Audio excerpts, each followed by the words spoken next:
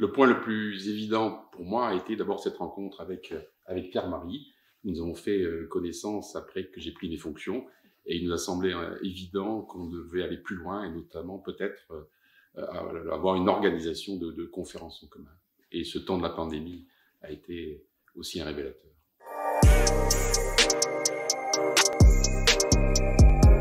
L'intérêt de, ces rencontres, c'est de nous montrer à nous et, de pouvoir montrer à, nos spectateurs, à ceux qui nous entendront, que euh, la franc-maçonnerie a des points communs, nombreux, euh, dans ce qui est, dans ce que sont ses valeurs, dans ce que sont ses engagements, dans ce que sont euh, les fondamentaux, et que au-delà de ces choses que nous avons en commun, mmh. nous avons aussi des spécificités. Et l'intérêt de ces rencontres, c'est de montrer à la fois les points communs et les spécificités de chacun.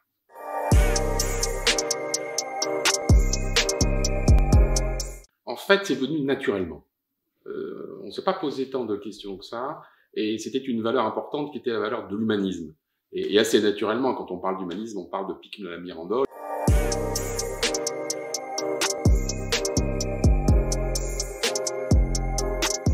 même temps que le sujet sur euh, tout ce qui concerne l'homme et sa place dans la nature est quelque chose à la fois de contemporain, de, une préoccupation d'aujourd'hui, mais c'est aussi quelque chose qui, depuis l'origine de la pensée et de, la philosophie, est au cœur des réflexions qu'on a eues de Platon à Aristote ou, qu'on a eu ensuite euh, chez Pascal, chez Descartes ou au siècle des Lumières. La place de l'homme dans la nature, le fait qu'il est ou non maître et possesseur, ce que disait Descartes, et le fait qu'aujourd'hui on se rende compte qu'il y a à réfléchir sur ce que nous sommes et ce que nous avons à faire ensemble, notre environnement, notre écosystème, c'est quelque chose d'important.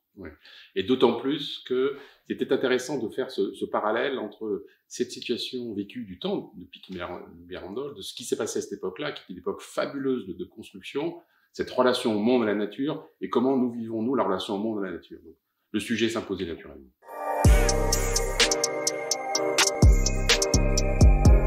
Cette rencontre, euh, c'est donc une première, mais ce n'est pas un seul euh, événement. C'est le début de ce que nous souhaitons être euh, une série de rencontres sous des formes diverses et qui nous permettront de nous parler et de, voir nos frères nous parler.